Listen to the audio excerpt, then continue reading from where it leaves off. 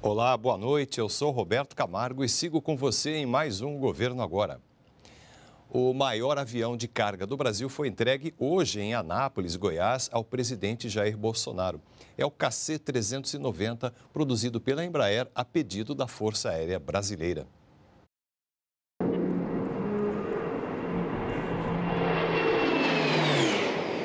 O novo cargueiro da Força Aérea Brasileira está pronto para voar. O KC-390 aterrissou nesta quarta-feira na ala 2, base aérea de Anápolis, cidade de Goiás, e vai apoiar a FAB na missão de proteger o Brasil.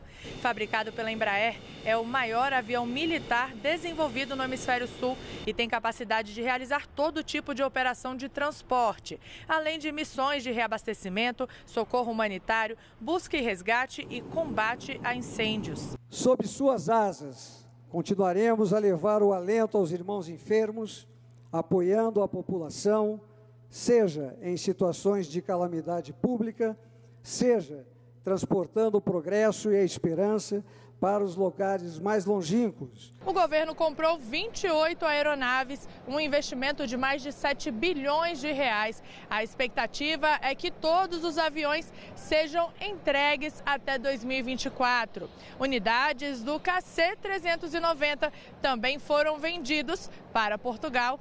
A entrega do avião além de representar significativo incremento na capacidade operacional da Força Aérea, possui enorme potencial para ampliação e participação brasileira no mercado internacional de defesa, possibilitando inegável contribuição para a economia do país. Durante a cerimônia de entrega do KC-390, o presidente Jair Bolsonaro foi recebido com honras militares e fez o batismo do novo avião. Em seu discurso, Bolsonaro falou sobre a importância de defender a soberania do país. O Brasil é um país pacífico, mas não pode continuar e não continuará sendo passivo a esse tipo de agressão à nossa soberania. A Amazônia brasileira é nossa. E agora à tarde, o presidente Jair Bolsonaro assinou uma medida provisória que garante pensão vitalícia a crianças que tiveram microcefalia por causa do vírus da Zika. Com a medida, os familiares não terão mais o risco de perder o auxílio do governo.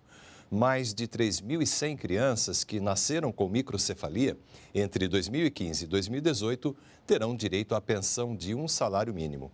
O benefício deve ser solicitado no INSS e será concedido após perícia médica para confirmar a relação entre o vírus Zika e a doença.